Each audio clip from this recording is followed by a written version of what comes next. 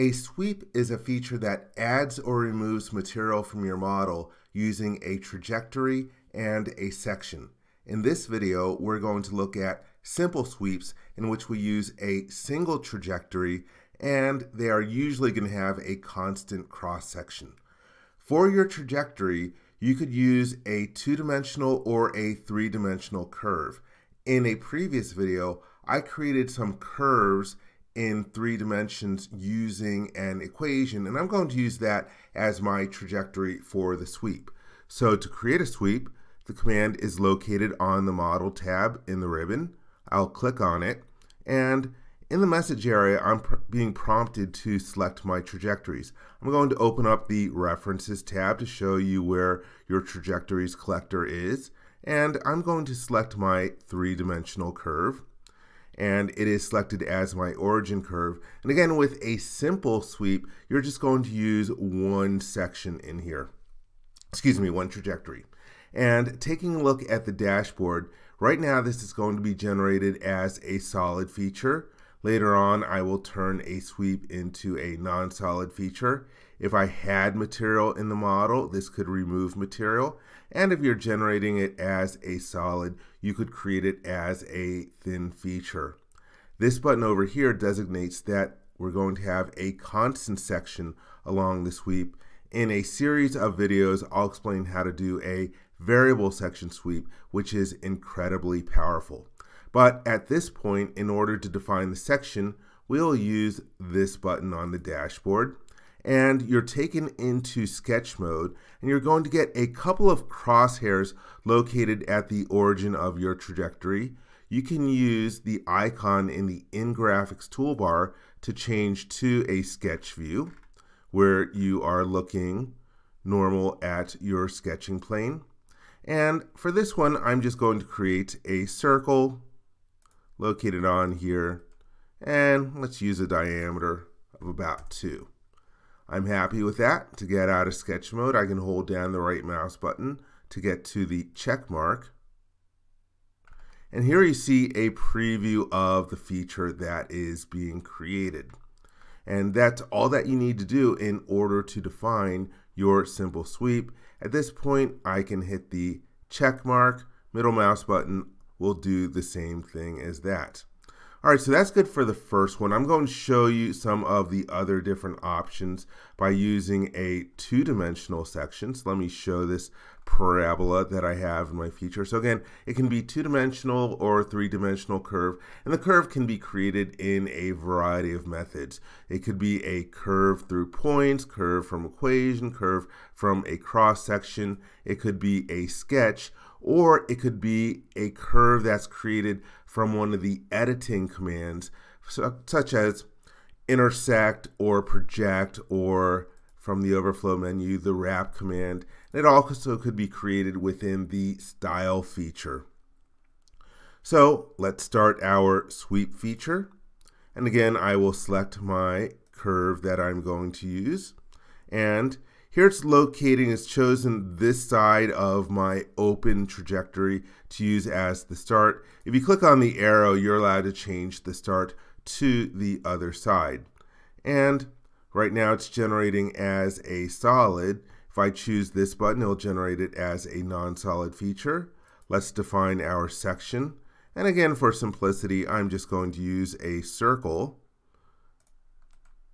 And let's give it a diameter here, let's use a value of 32. Hit the check mark to complete out of here. And now you can see that this is a non-solid feature. It's got open ends. If you're generating this as a non-solid feature, you could choose to cap the ends on here. One thing I want to point out about this one as I'm creating it, in the References tab, it's creating my section normal to the trajectory at every point along here. In a moment, I'll show you how to change that. I'm going to go into that in more detail when I go into the variable section sweep, but the default is that your feature is going to be created so that your section is normal or at a 90 degree angle to your trajectory at every point along the trajectory. And just to show you some of the other different options, if I generate this as a solid, I can use this button to give it a thin wall. And for the thickness of that wall, let's use that a value of 5.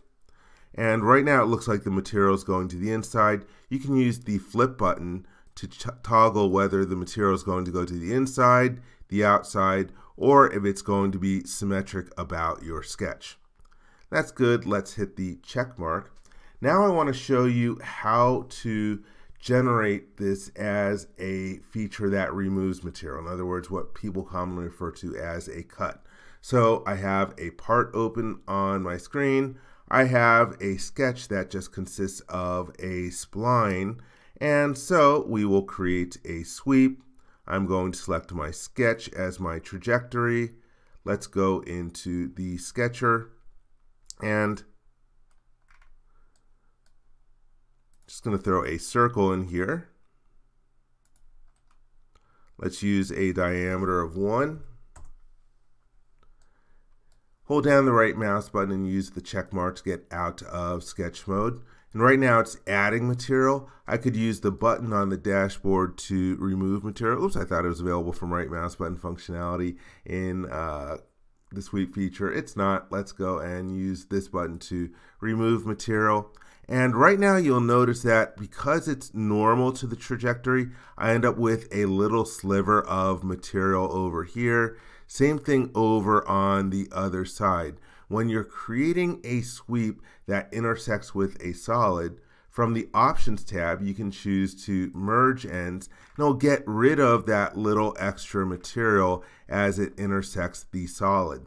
Another option that I could use in this case is if I go to the references tab, instead of being normal to the trajectory, I could choose to make a constant normal direction. In other words, have my section, and here's the weird part, it's called constant normal direction. You can choose some reference that your section is going to be parallel to along the length of the feature. So for example, I could pick this surface here, and if I go to, let me try my top view.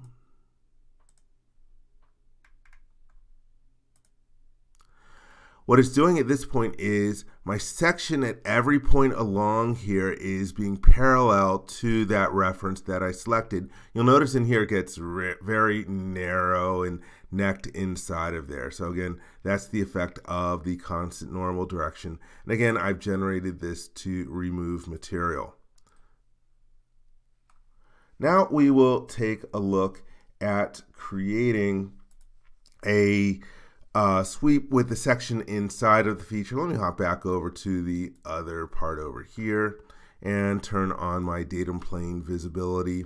Uh, just be aware that if you are creating the feature, normally you create the trajectory in advance, but you could actually create it inside of the feature. So if I go to the sweep command, right now it's prompting me to select a trajectory. Well, I don't have a trajectory. You have the datum icons over on the right hand side. So for example, you could create a uh, create point inside of here. You could create the curve through uh, points in here. Or as I'm going to do, I'm just going to, again, just create a sketch on the datum plane called front. And let's use an ellipse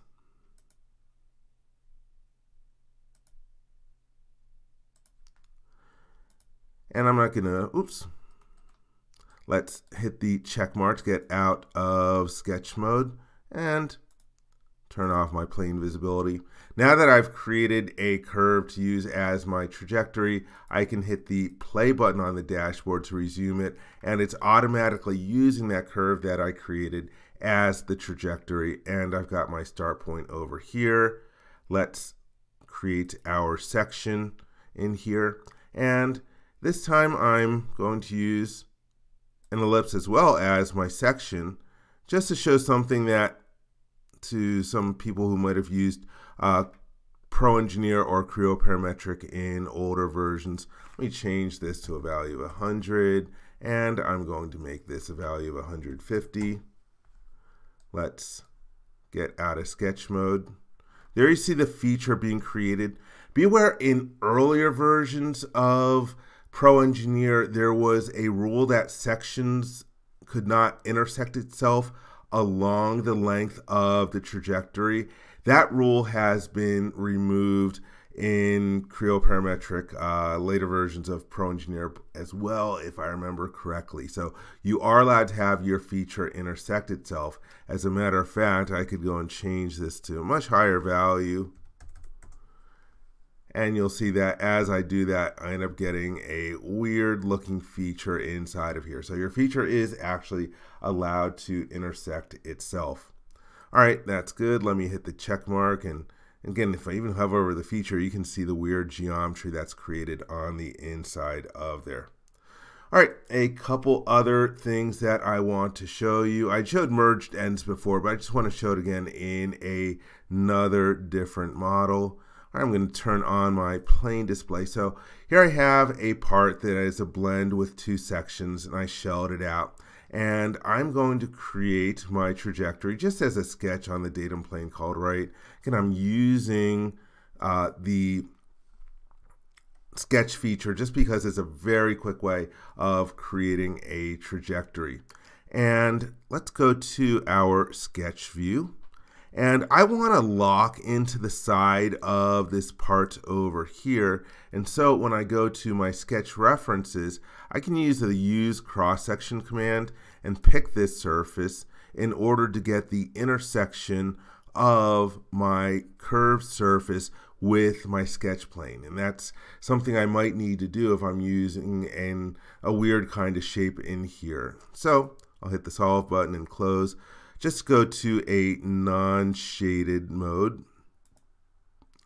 Let me go to wireframe just to show you that you have a dash line being used over here uh, for your sketch reference. Let me turn off my datum plane visibility and I'm just going to sketch some straight lines in here and I'll show you why in a minute why I am doing that. All right, let's create some Let's modify some of these dimensions here.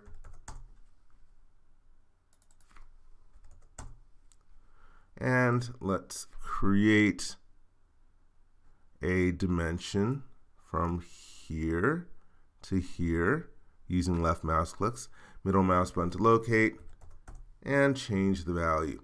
So that is good for my trajectory. And again, it's locking into the sides of my part. Let me hit the check mark. And let's go back to a shaded mode. And I will create my sweep. Since my sketch was still selected, it's automatically using that as the sweep. And I'm going to add material. And for what I want to show you, I'm going to create my sketch. Let's go to the palette and polygons. I'm going to drop an octagon. Go to my sketch view. Let's just drop it in over here. And I don't need the scale of the octagon to be so big, so let's change that. Yeah, a little bigger.